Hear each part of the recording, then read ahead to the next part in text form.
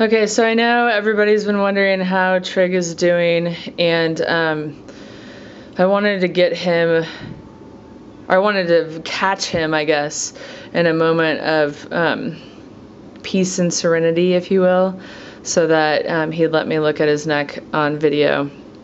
And he spent two and a half hours outside this morning, so um, and has had his cheats, so he should be pretty relaxed. He's listening to some chakra music as well.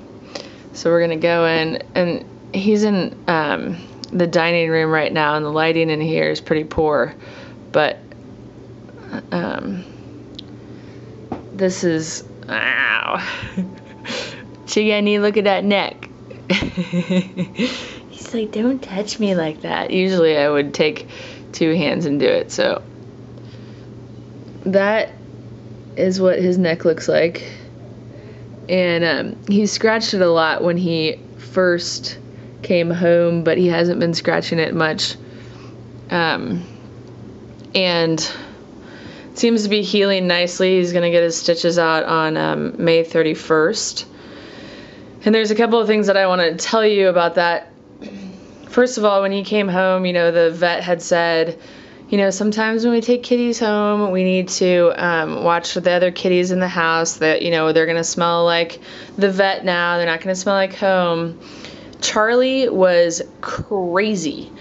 He like was hissing and growling in a nightmare and I ended up having to lock Trigg in the guest room, put litter box and food and all that kind of stuff in there and kind of do a reintroduction, if you will. It was miserable. Um, so that's why I didn't put anything on YouTube right away. Then, after Trigg had been home for a couple of days, I had Trigg and brought him up to. Um, I brought Trigg's neck up to Charlie so Charlie could smell it because Charlie kept trying to smell his neck, and Charlie just went.